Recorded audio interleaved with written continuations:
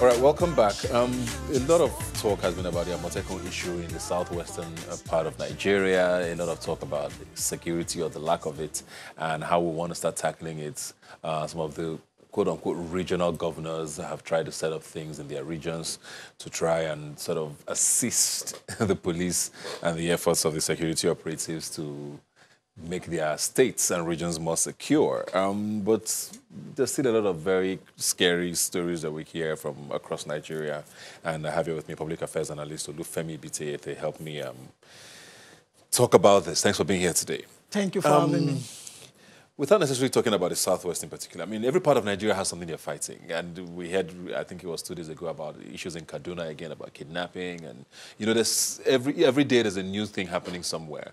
There's fears now even in Lagos with regards to all of the bans that have happened. And there's more people who are unemployed and we don't know where they're going to fall back on. Um, what are we doing wrong and what should we be doing with regards to security in this country? Because it, it seems like every day, as we tackle one, something else raises its head. Well, thank you very much. As regards security, Nigeria is at the tipping point. And of course, we need the president or perhaps the executive um, arm of the government to be proactive in creating solutions. Just like you said, insecurity. What causes insecurity? Unemployment, climate change. Climate change brings about unemployment, brings about poverty. So all these things, they all come together. So there is no way we can solve insecurity without first looking, taking an holistic approach into the economic framework. So then we need the, the government to, we need a, a paradigm shift, a new philosophy, because if you looked at it for the past five years, or let's say six, seven years, we've been battling in Boko Haram. Now we have banditry. Now we have kidnappers. And if you look at the history of insecurities, it started in the South South where it's all about resource control. But now it's about ideology, it's about um, religious belief. So we need a philosophy, a new philosophy, a new paradigm to curb insecurity in Nigeria. What, how do we achieve that, though? Because it looks like we've been talking about this um, for as long as democracy has been, at least, uh, let's forget about the military era when we didn't have a voice per se. But since 1999, we've been talking about the need to secure Nigeria. And like I said, there's always something happening. What, what, what should we be doing differently? Because we had a gov- we have a president who came in in 2015 saying security was one of his major sort of uh, t- tackling points. Talked about moving the head the head office of the defense uh, to the northeast. northeast. But I mean, there's other parts of the country that are also battling things are we localizing the fight enough? We thought Boko Haram was dead. We hear that they are still being attacked. There are still attacks happening across the country, or parts of north, the northeast. What are we? What are we? What should we be doing? Because uh, people have also talked about should governors have more control of security operatives? Is that a viable option even? Since you know, the closer the government to the people, the, probably the better. Thank you very much. I'll start with the um, what we should be doing right. You talked about having um, the security closer to people, probably having state police. And we also need to look at how we need to localize policing, that is community policing. We need to get people who will give us information gathering. That's very, very important. Now, if you look at it, the Southwest governors, they come up with um, Amotekun, all in the name of what? Safeguarding the region. And you could see the response that came from the north. So we need to have a regional approach to security. That's one. Another thing which is affecting um, the security architecture of this country is um, People don't trust the institutions. And our judicial, our criminal judicial system is faulty.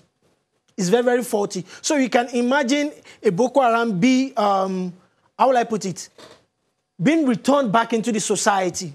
It's because I feel, well, there's, there's no moral justification for you not being a Boko Haram member as far as you can drop the arms. And you can also look at our border control.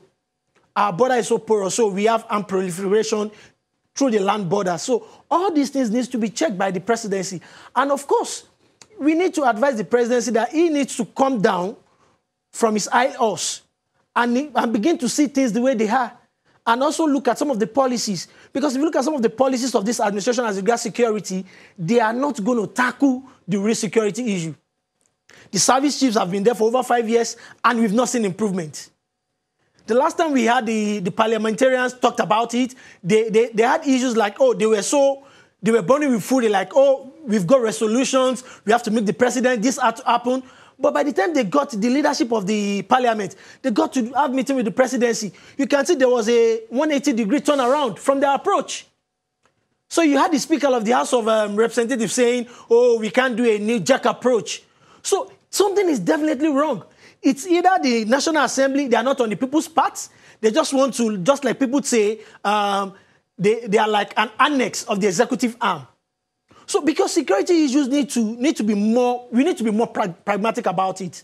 Now, a regional approach to security. The president was as, um, at the um, AU, AU Security Summit. And looking at the African Union, now we need to bring about a security architecture whereby there is information exchange between the African Union countries. So that we, when we know that there's a criminal coming in from probably, let's say, from Mali, from Lake Chad, and, and, the, and the country that surrounds us, there's a way we control their entrance into our country, which is as a result of, as a result of that, we were banned by the um, United States. Because people coming through our land borders, they come into Nigeria and they just, they take um, citizenship. And before you know it, they go into another country and all these things, terrorism, Boko Haram happens to be either the third or fourth terrorist group on the global map. So these are issues for concern. So government needs to, one, change the policy. We need to strengthen our institution. People must know that when you do this, it's either it's a death penalty, a life imprisonment, and we need to be we need to stick to it very, very well. Then, of course, like like we talked about, regional policing, community policing, so that it will help in information gathering. Our borders were recently closed. Well, not too recently, but our borders have been closed for quite a bit now. And um, I mean, you talked about people coming into the country. Do you think measures like that would help, for example, to prevent uh, criminals from coming into Nigeria, closure of our borders? Well, definitely, if you look at um, border closure from economic point of view, some argue that um, there are ways you approach the closure of the border because you must be able, you must be able to have substantial resources to run your, um, your economy as a result of things coming in, let's say they say rice, smuggling, and etc. But because people are still coming in. if you go to Seme border, if you go to the border in Badagry, they are not really concerned about people coming in. In fact, they are more concerned about rice coming in than even the people. So what we are talking about is people coming in with these arms. And I can tell you, it is because it still boils on the same thing, which we don't have enough intelligence gathering. The DSS, the police, the military, they should be well equipped. We are talking about modern technology. We are talking about where we can exchange information. We are talking about community policing, whereby we sink policing into the community. So the community leaders know that it's their responsibility to share quality informations. But the question is when you share these quality informations, are the government agencies ready to run with it? Very, very important question. Then on the final note, very, very quickly, one or two sentences. Is this how do we separate politics from the need you've mentioned for this regional sort of policing that's about to start, that's the governors are clamoring for? Now How take politics out of it very now, quickly. Now that's the major issue we're facing because we just like um, in, a, in the street parlance on Twitter, they will say we play too much.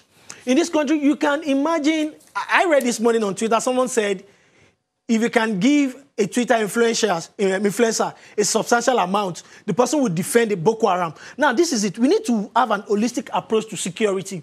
We need to look at our security architecture. Then, of course, maybe we have to do a regional conference, just like the way they did for Amotekun and they came up with Amotekun. So with that, it will help us to understand the needs. Because if you look at the northeast, the northwest, you know that poverty, insecurity is the bane.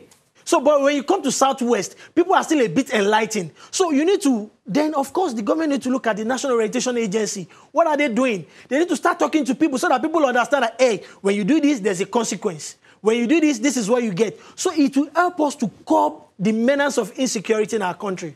Well, thank you very much for sharing your thoughts with us. I mean, I think we're all concerned about hoping that 2020 gives us some positive answers, especially with regards to security. Thanks for being here today. Thank you very much. Like I always say, you can follow the conversation on Twitter at Rubbin Minds now is our handle. Please use the hashtag Rubbin Minds when you tweet at us. Have a great week. I'll see you next Sunday.